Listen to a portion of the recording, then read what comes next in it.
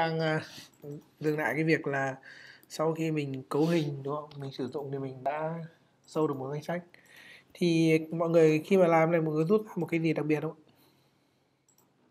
có nhận thấy một cái gì đặc biệt không tức là khi mà làm việc với cái thằng chớt này đấy, thì mình luôn luôn phải kế thừa từ một cái cái lớp gọi là action support, được chưa? Đồng ý không? Sau đó thì để hiển thị được một thông tin lên thì mình sẽ luôn luôn phải biến thành thuộc tính. Đấy, và nó binding luôn. Được chưa và cái đặc biệt nữa là gì?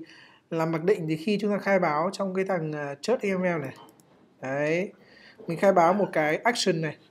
Thì nếu các em không, tức là trong cái thuộc tính này các em không chỉ là, tức là chỉ rõ là cái method là gì thì mặc định nó sẽ dùng cái phương thức là execute mặc định có đấy ạ. và hôm trước là mình đang tận dụng cái việc là mình sử dụng cái XQ này để mình có thể lấy được danh sách. Được chưa? Ok không ạ? Và chú ý nữa là gì? Là khi mà cái định nghĩa cái action này này thì cái name em đặt như nào thì trên URL em phải gọi đúng như thế. Đúng nhá? Để nó gọi nó, nó thông qua thằng church thì bây giờ mình sẽ thử cài đặt cái tiếp chức năng nữa thì mình sẽ thêm mới thông tin sách nhé. Thì chúng ta sẽ chuột phải vào cái phần web content các em tạo cho anh một cái trang CSV mới. Được chưa chúng ta để là sách. Giống như chúng ta làm việc với DBC thôi. Đấy ạ? Nhưng ở đây chúng ta sẽ dùng giao diện bằng chúng ta dùng just. Sau chúng ta nhấn next này và chúng ta nhấn finish. Sau đó để sử dụng được thì cái đầu tiên chúng ta cần phải làm là gì ạ? Là khai báo thẻ tắc của church đúng không ok.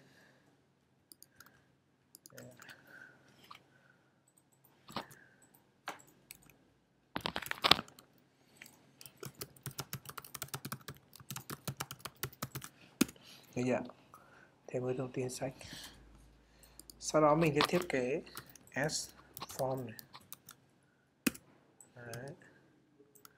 Chúng ta có name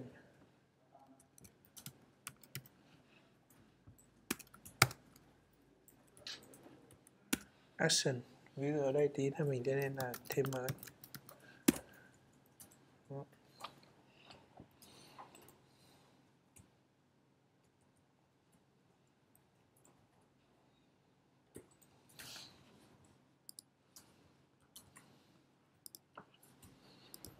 thế ạ.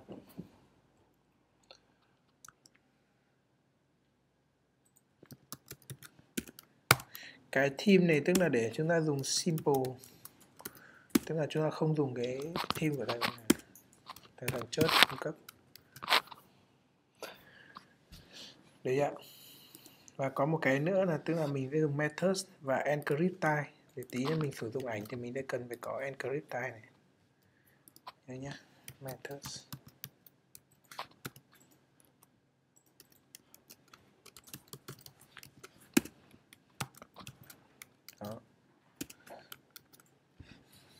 Ta sẽ thiết kế cái bảng để chúng ta nhập thông tin thì à,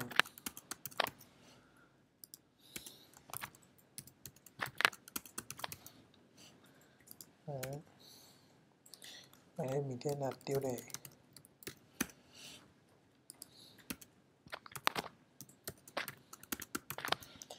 mọi người còn nhớ là lúc chúng ta dùng thẻ tắt chúng ta có thể dùng kiểu này đúng không? Đấy, nó có thể dùng kiểu này nhé. Cái đối tượng này value đây là value rồi. Đây còn nó là binding cái name nó là binding thông tin. Thì nha mọi người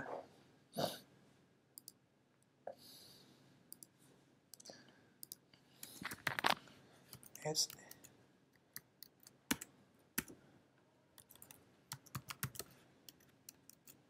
object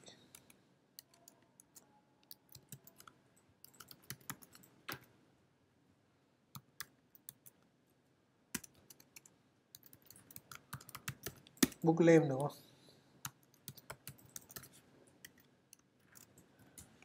Đúng mọi người.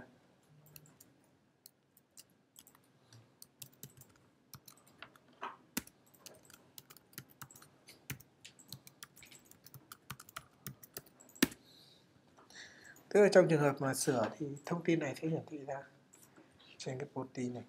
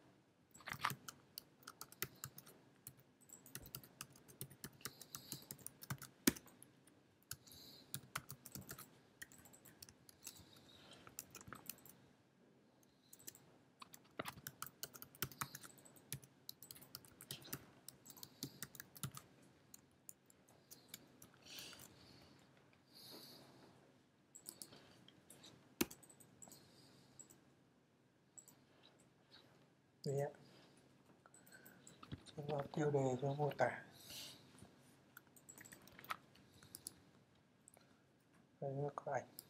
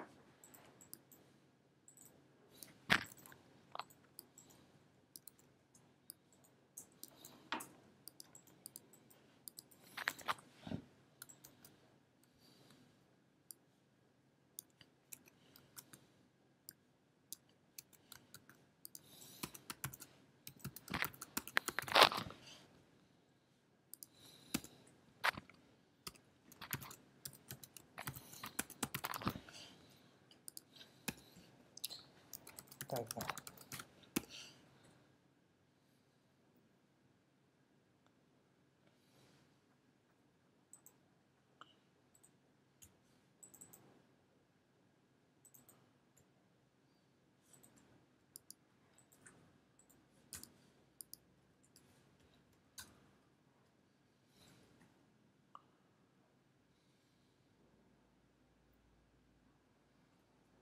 tên đúng rồi nó take fill sorry cái này là phải tách fill nhé mà sao nó báo lỗi?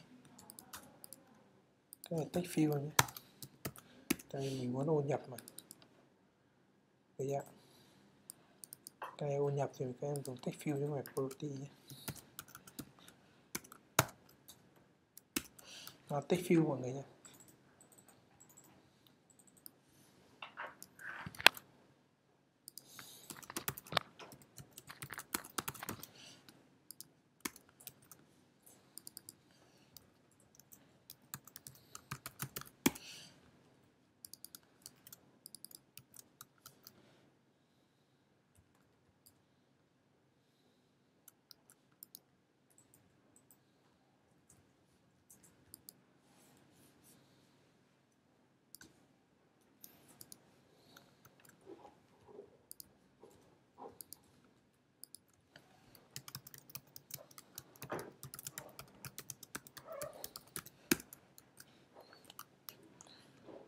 cho thể bình thả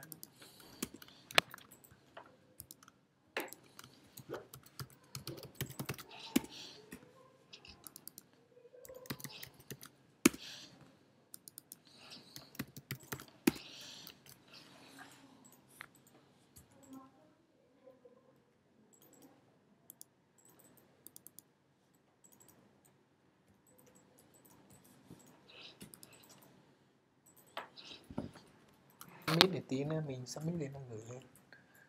Đây ạ. Đây, có một cái hidden field đây nha. Mình để luôn ở cái tiêu đề này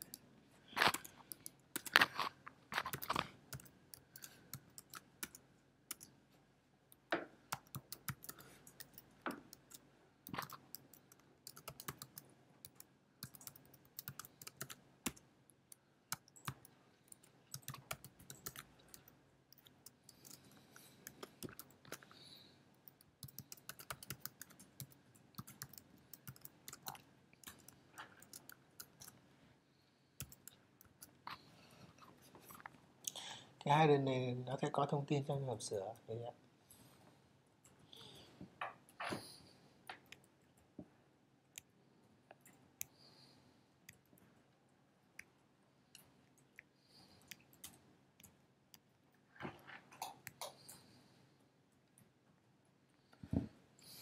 Này, trong một danh sách này của mình, đúng không?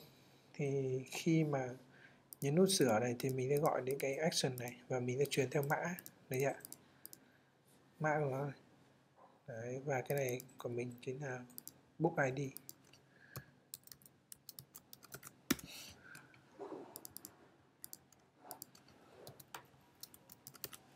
Đấy mới thêm hai dòng này, trong cái danh sách SURL tức là tạo ra một cái thẻ link để di chuyển đến cái action tương ứng ở đây mình sẽ để là chi tiết sách được chi tiết sách. Đấy. Ở đây mình ghi là xóa sách. Thực trước thì mọi người để ý để pin được một thông tin ấy, mà không phải là cái thẻ property thì mình nên dùng dấu phần trăm sau đó mở ngoặc nhọn đóng ngoặc nhọn. Cái thuộc tính cần lấy thông tin. Đây ạ thì để thực hiện ấy, thì mình sẽ vào cái sách action này. Đấy, thì khi truyền sang đây thì mình sẽ có một cái biến tức là có biến mã đúng không? Mình sẽ để lấy được thông tin của nó thì mình sẽ phải khai báo thuộc tính. Cái mã này là cái kiểu số đúng không mọi người? Rồi kiểu in. Mã.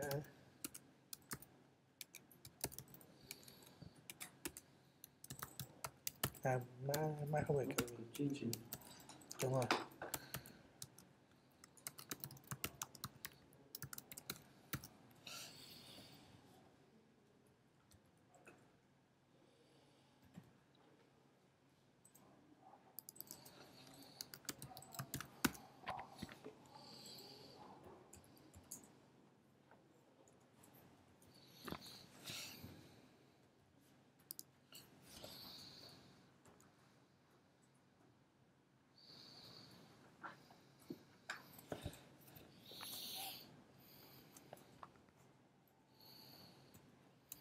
Yeah.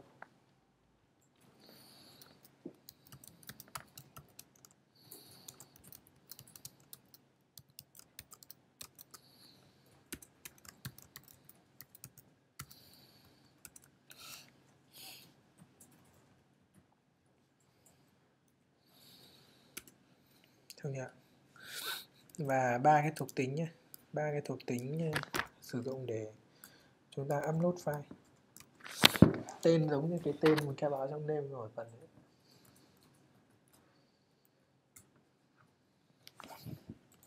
Thuộc tính cho anh nhé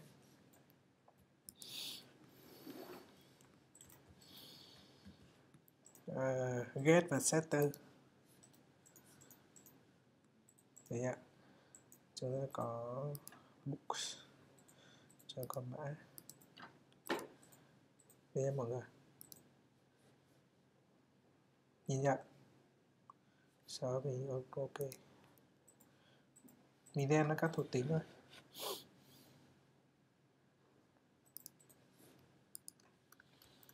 Getter và setter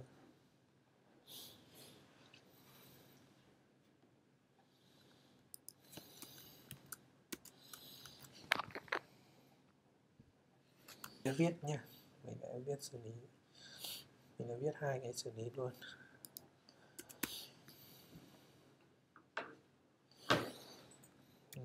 Public này, searching này, chi tiết. Đây ạ. Chi tiết. Thông tin sách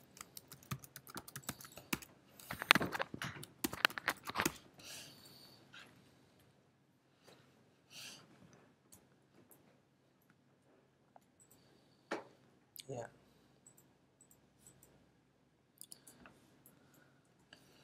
algorithm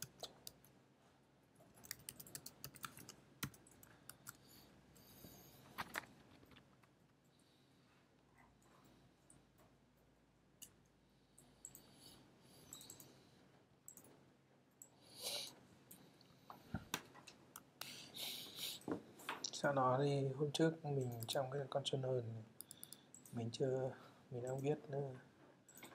Chưa đủ, mình cứ viết thêm nhé. Publish. Column cập nhật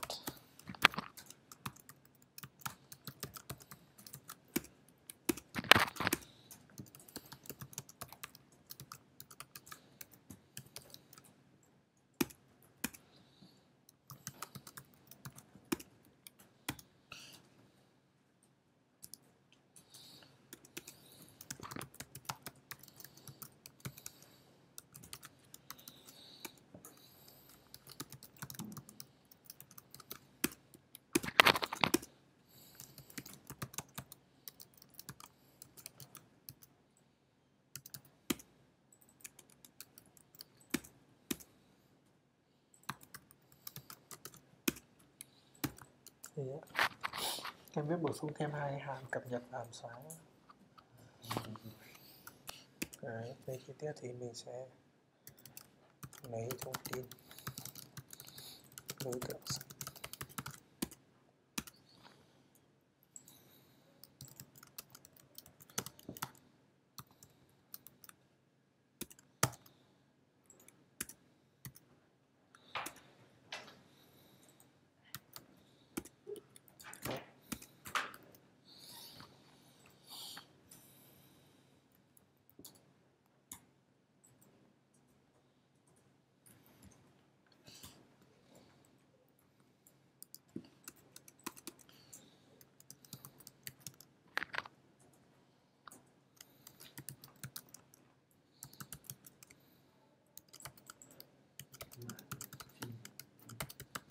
Sách Đúng rồi.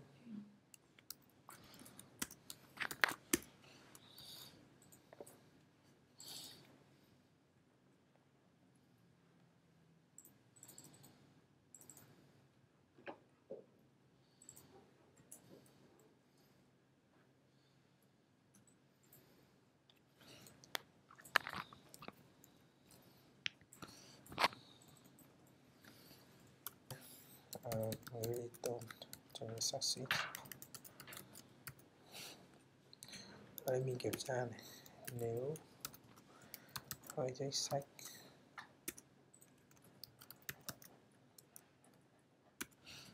mình để là sách hay book nhỉ? Sách thì phải. Ừ, cái cái này mọi người đổi tên cho anh nhé anh để nhầm nhé. Này, mình để là sách nhé. Nó để nhẹ tí lên cái đối tượng sách mình không có thông tin đâu. Sửa lại cho anh cái đối tượng sách này.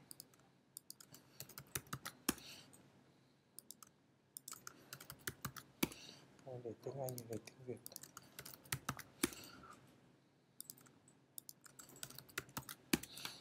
Đấy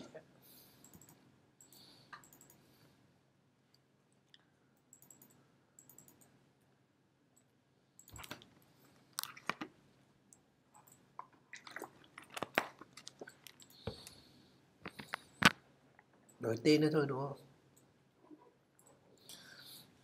Ở đây sẽ là sách. Đấy, và đây nếu mà sách khác luôn. thì mình kiểm tra nếu switching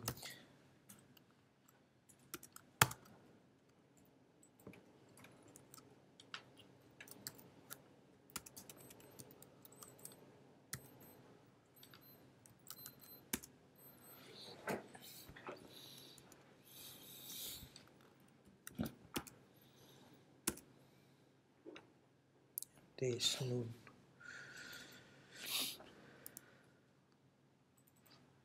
is empty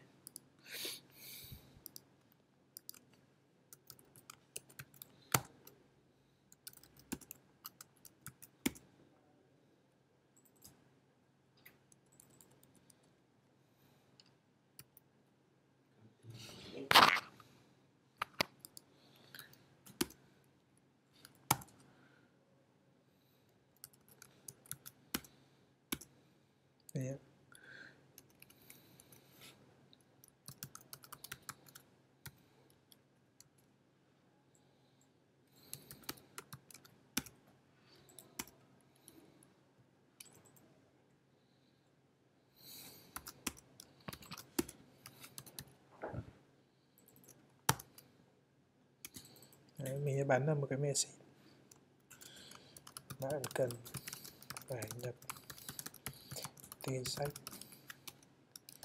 trước khi thực hiện. Cách thức này là cách thức mà mình viết trong code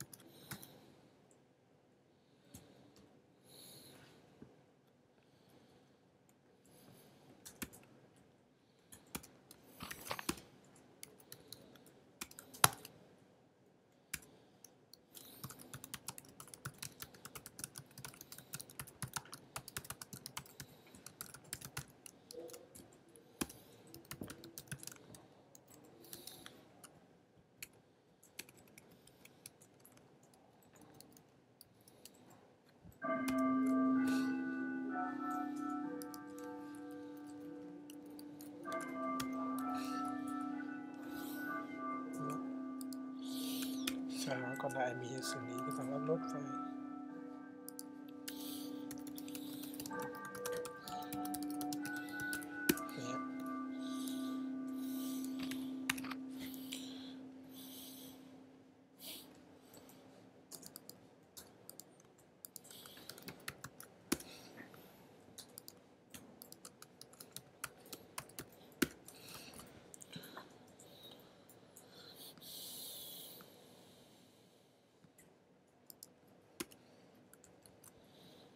Cái cái file upload này, tí là mình sẽ phải lấy nhúng vào trong thằng XML đúng không?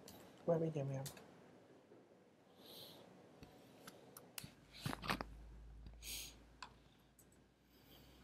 Sau đó mình sẽ kiểm tra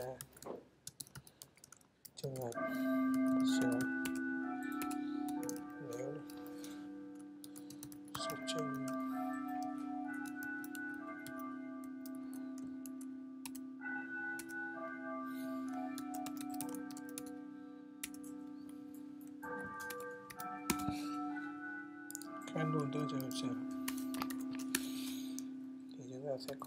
có là books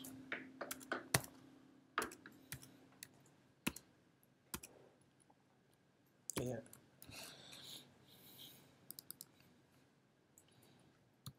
books ID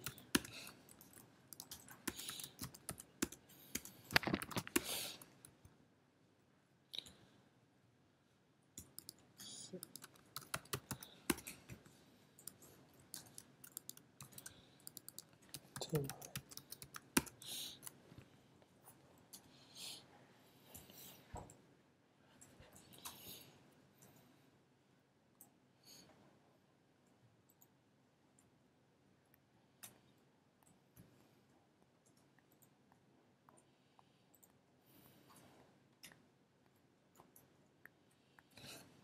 ở đây mình có thể mặc định trong giờ này, mình sẽ để mặc định là chủ đề còn mình sẽ để là object set vì chủ đề mình chưa set rồi. Nhìn đọc đây thì là trạch lỗi. Sau đó thì trong chúng ta vào cái phần file chart để cho khai báo nhé, mọi người nhìn thấy thì đây của mình sẽ là có phần là chi tiết sách. Đây ạ. Và mọi người này, methods. Để ý cái này nhé tức là cái đặt này, cái tên này, mình gọi thì gọi qua cái tên này. Nhưng mà cái phương thức mà mình tương ứng với nó là gì? Là chi tiết thông tin sách. Đúng không ạ? Mời để ý cái này nhé cái tên và cái phương thức có thể không trùng nhau. Được chưa? Set add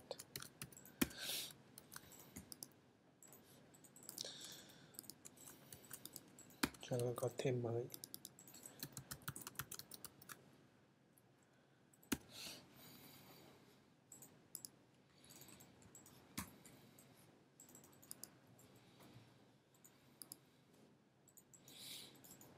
Cái và chúng ta sẽ có một cái tên của nó là thêm và cập nhật thông tin sách yeah.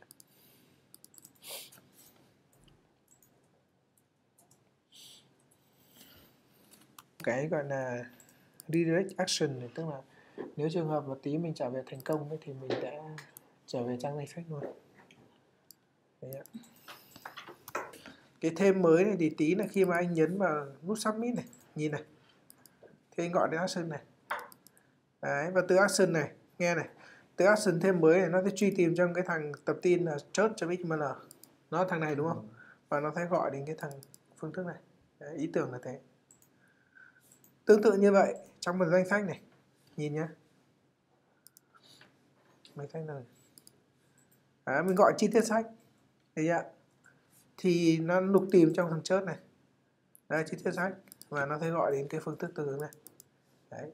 Ý là tại sao mà chúng ta phải khai báo nhỉ tại vì như vậy này. Input. Để nó giữ cái form đấy.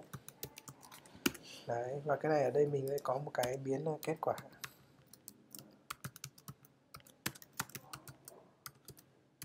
Đúng không?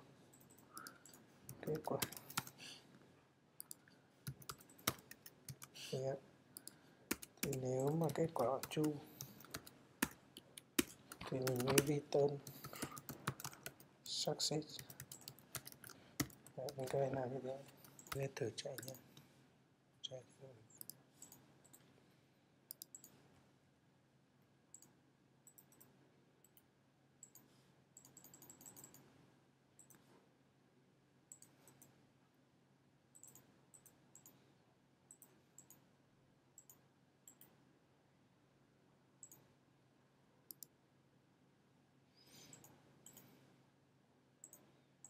thử đi.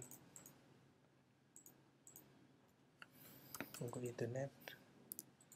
Chúng ta có là lấy sách sách này. Ôi, đang chết internet.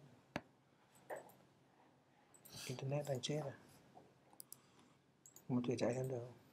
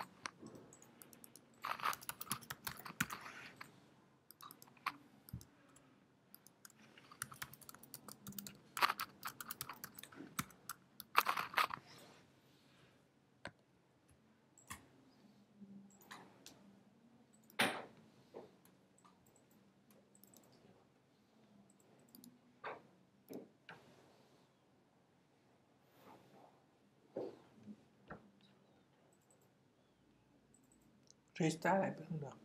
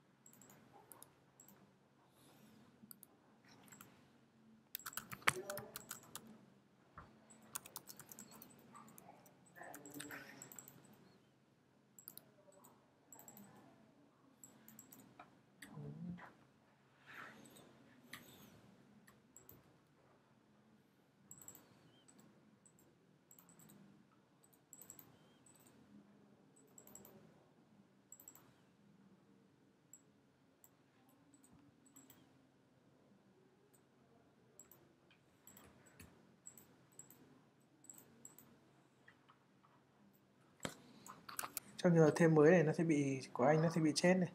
Chắc của 10 sẽ bị chết tại vì mình chưa có mã. Đúng không? Thì mình sẽ có một cái cái cột nữa nhé Rồi nhập một cái, cái cột nữa. Là mã sách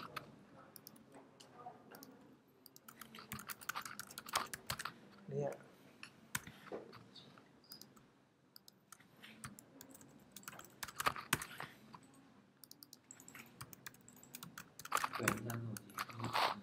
bổ sung thêm cái mã sách. Đấy, bổ sung cái mã sách. Đúng không? Trong trường hợp thêm mới mã sách nó không có nó báo lỗi này. Đấy nó báo lỗi.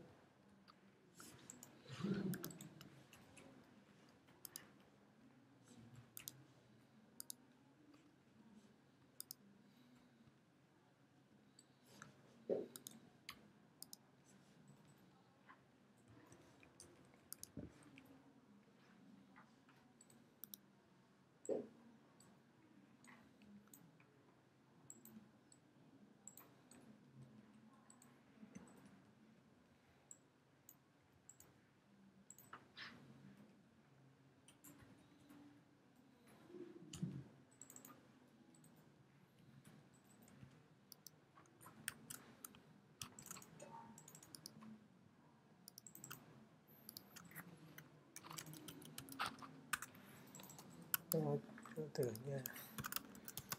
Là trình just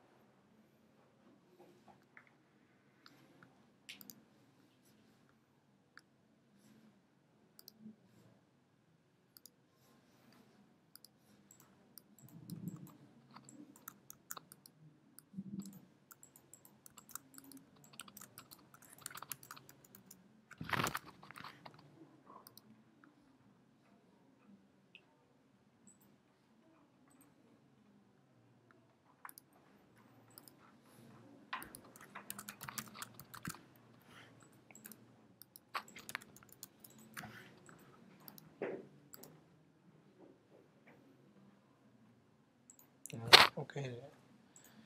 Để ạ. Nó này là thông tin rồi đấy ạ.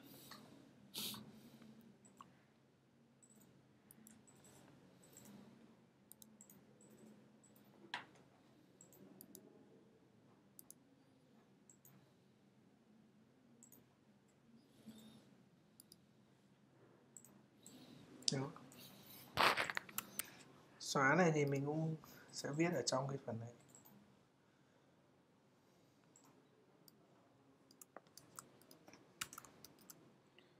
Đây là xóa sách. Đấy à.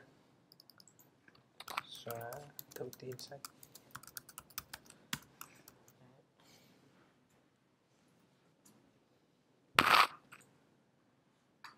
Nếu xóa thành công thì mình sẽ trả về cái sách.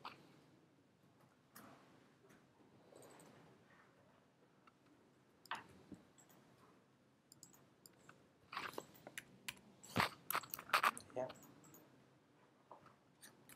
Trong cái này thì mình sẽ viết một cái hàm là xóa thông tin sách. Đúng không? Xóa thông tin sách. Mình sẽ kiểm tra nếu searching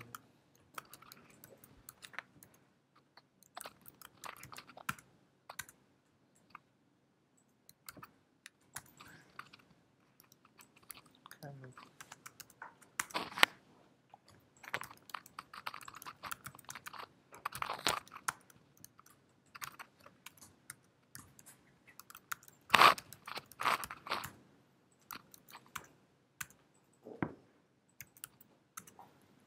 Yeah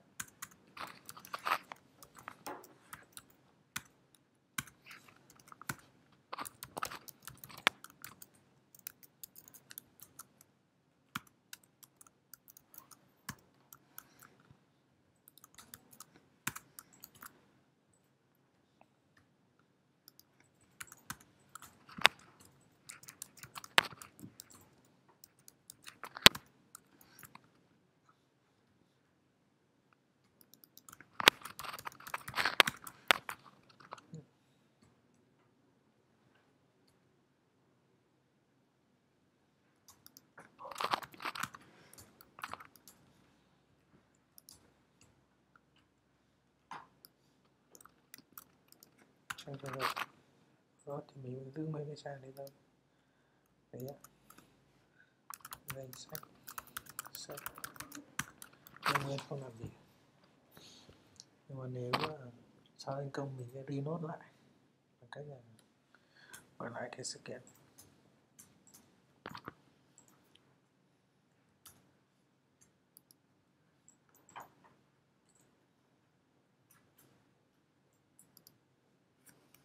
Có phải là nếu cái này thì là nếu mà trường hợp mà có ảnh thì nó sẽ lưu cái tên ảnh ở đây đúng không? Vâng. Thì nếu mà trường hợp không có upload này nghe này.